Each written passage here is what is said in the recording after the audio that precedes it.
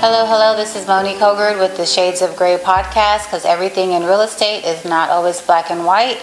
We are here with Century Communities and we are with our lovely representative named Kyle. Kyle. Hi, Kyle. How, are you doing, today? I'm doing good. I'm doing good. good. Thank you for asking. Thank you for allowing us to be here today. How long have you been with the community? Can you tell us a little bit about yourself? Absolutely. So I've been in the community now for probably about two months, Mm-hmm. but I've been with the organization since February. Okay. How do you like it? I actually like it a lot. This community is geared primarily toward first-time home buyers and a ton of investors. Awesome. Uh, so we get a quite a bit of traffic. Quite a bit of traffic. Yeah. Awesome. Well, our first segment, we were just kind of getting to talk about the um, new construction process as far as if an unrepresented buyer comes in, how that's handled. Today, I would like to talk about um, situations. Okay. So a lot of times, uh, if somebody comes in, they, they're not very knowledgeable, they don't know the process, they, they don't know the steps. How do you handle negotiations if a buyer, um, is there any leg room to negotiate at that point? Because I know a lot of times you have things set already in place Yeah. within the home. So are inventory homes negotiable? That's a great question. And yes, the answer is yes. Uh, everything's going to be based on what the buyer needs. Okay. So if the buyer needs to have, for instance, our homes come with the move-in package, the refrigerator, washer and dryer. If the buyer feels that they need that, then we will negotiate that into the deal. Uh, but if a buyer does not need that, we'll negotiate it out of the deal and see if we can use that money as discount. Awesome. Um, and that's just one of the few examples, but there's there's so many different ways you can actually negotiate on new construction. Uh, but just trying to zone in or lower the price sometimes could be uh, catastrophic for the community Right. yeah. Now, why do you say that? Because comps. Oh, yes, those we lovely have comps. we have comps. uh, most home buyers, especially first-time home buyers, they don't realize that they have neighbors, Mm-hmm. and their neighbors bought at a certain price, and they want to maintain those values in the community. People don't take that into consideration a lot of times when they're trying to get the lowest price. Okay. Everybody just wants the lowest price, and I, I mean, it's just nature, so I Mm-hmm. get it.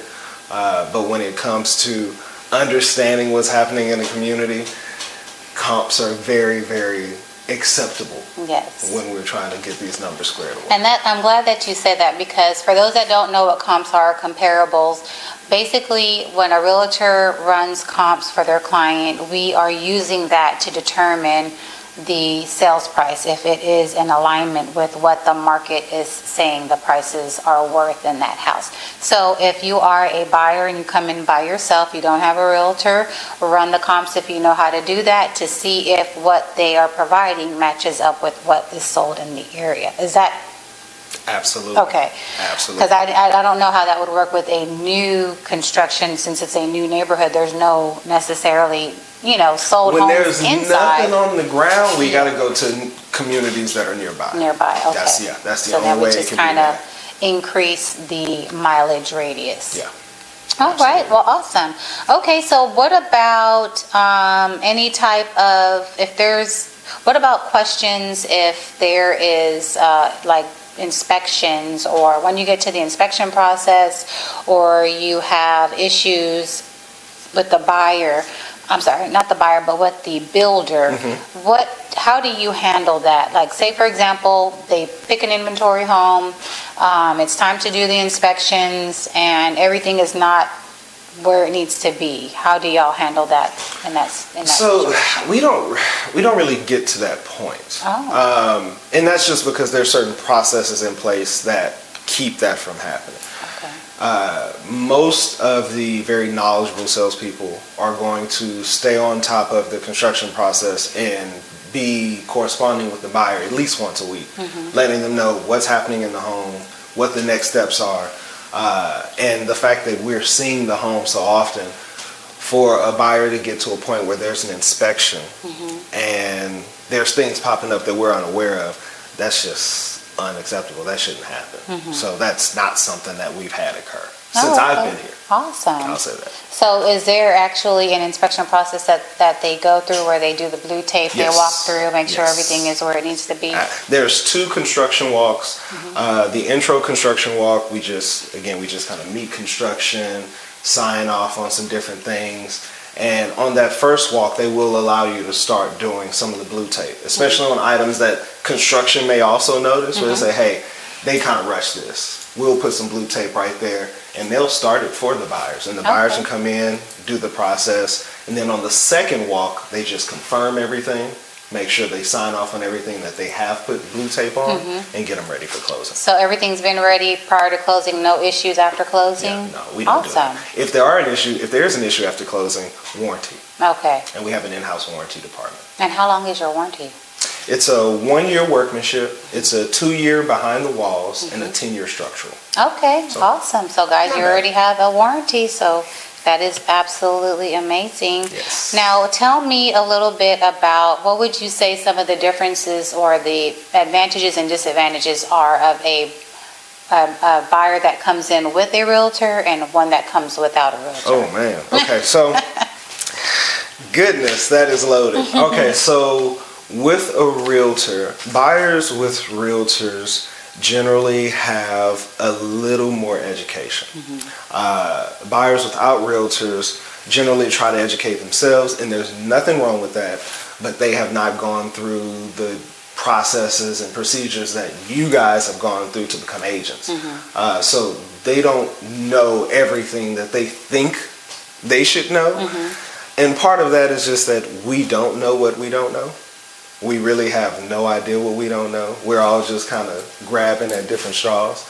Uh, but the buyers that do have realtors, they're the most educated. Uh, they're able to get the deals done quicker. Uh, and they generally tend to be the happier customers.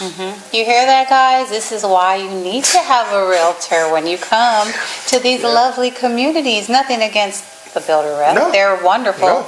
and they're very helpful, but it is definitely an advantage to have a realtor with you. Agreed. So in that, in, in a situation when you say that the, the buyer only knows what they know, how do you help them or facilitate the deal because they don't know. They don't know the contract. They don't know what's in there. How do they know what might be missing or things that they should pay attention or ask for?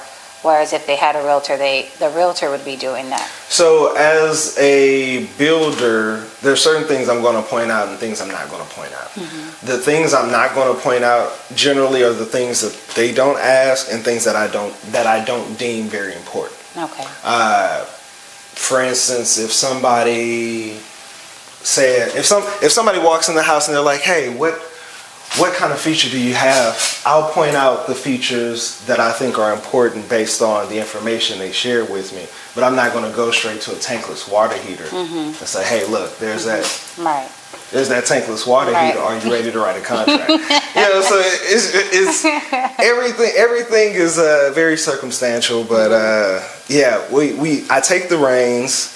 I give them the information that they need. I build rapport, which is extremely helpful mm-hmm. in getting them to understand and to trust. Okay. Understanding and trusting is a big part of this side for me. Okay. I have no idea what it's like being an agent. I've Right. never been an agent, but being on this side, just Whew, it's they, a lot of work. they gotta have that trust. Yes. But there's there's been times where I've had conversations, or I've been a part of a deal where the realtor has an amazing amount of control over that buyer. So much so that the realtor decides mm-hmm. where that buyer is buying a house. Mm-hmm. And that's kind of the way that you want to work it from both sides as a mm-hmm. realtor or even you know as a builder you want to be able to have that control to help guide your buyer the best way possible because you think that buyer was concerned that if, if they did decide not to buy one of my homes you think they were worried about it No. They had an agent that was telling them exactly what they wanted to hear mm-hmm. when they wanted to hear it that's that's what matters Okay. Yeah. So from some of the other surrounding communities, what stands out about yours? Why should why should me Great as a question. realtor bring my client here besides the wonderful perks that y'all have? Yeah. So okay. So that's to me, that's that. It feels almost like a laundry list of items. Uh, location is the biggest thing. Okay. Uh, when you look at a lot of other builders that are around similar price points to mine, they're either further out or you know further into Katy, further down this way. I mean, they're just not as close to 99 or close to the highway as we are. Uh, and then size, we're going to be 500 homes once we're done. Wow. We have about a year and a half to go before we're completed. Okay. We have a ton of properties that we're selling to first time buyers and investors, where a lot of these other communities out there are not just doing first time home buyers and investors. Some are not doing investors at all, which, I feel like in that sense, if you haven't, because investors are going to be flipping and Yeah. selling and renting, you're going to have people moving in and out. I just think that, in my opinion, I don't know if I would want to live in a community that has investors buying because I feel like that may kind of either delay the process with the move-in um, or completing, you know, the phases, or, you know, you're going to have people con- constantly moving in and out because you have renters. Yeah. You know what I mean? Does Yeah. that, do you feel like th- for a new community that brings down the value? So I would say, depending on the area, yes. Okay. Uh, in this particular area, the reason I don't feel that way is because I've seen quite a bit of investors from all over the country. And a lot of people seem very geared toward Katy. Right. Um, and then when they're seeing these price points, some of these buyers, I'm sorry, for instance, I have a buyer closes tomorrow. He's from New York. He's buying the home as a personal home, but turning it into an investment property. Okay. And probably about 70% of my clients are doing that. Wow. These are first time home buyers moving down here, trying to get into investing, trying to get into the rental game and bringing in that mailbox money. And so they're buying these homes, financing them for about a year, refinancing it, and then throwing a renter into the home. Wow. Uh, and then doing a cash out refinance, taking that money and going and putting it down on another house. Right. That's what we're seeing. Okay. Uh, and so, yeah, that even with that, eh, I mean, because yes, you do have some people like yourself who, even myself, yeah, I wouldn't, I wouldn't choose to just live in a community with a ton of renters. Uh, but if there's a goal in mind, and if all of these people have similar goals, then the whole dynamics of the community changes. Right. It's not just one person or two people trying to rent. It's a ton of investors in this community, and they know what this community was set up for, and they are making it happen. Okay. Now, there are other communities we're in that don't do that at all, but this particular community does allow it. Nice. Yeah. So do you, um, do you refer any realtors, uh, inspectors, attorneys, appraisers when you have a client that comes in unrepresented? You do? Mm-hmm. All the time. Yeah, Okay. Well, I would like to be on that list.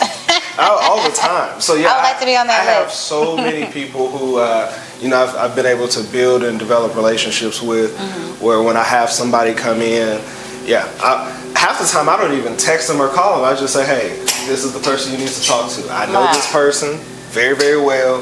Just tell them that you came from me. You'll be taken care of. Okay. So yeah. All right, well, good to know. I will be hearing from you very shortly. well, great. That is pretty much all the questions that I have. Do you want to let the audience know the price points of your home? Yes, so our homes right now start in the mid twos, Okay. right around 265, 269. Okay. Uh, and right now, just up to under 400 at the moment. We do have a new section that will be opening up here probably within the next three months, where we'll be going up to right around 450. Okay. Some bigger homes. Um, but yeah, that's it. And like I said, we're And you have about 500 more homes. we have we're halfway to 500. Oh, halfway to 500. We're Okay, halfway so to 500. all, we, we still got plenty of opportunity to buy a home in Katy, Texas, under 300,000 That is correct. dollars. That is an opportunity for you to come in. They have their own lender. If you um, have a lender or if you don't have a lender, I can help you.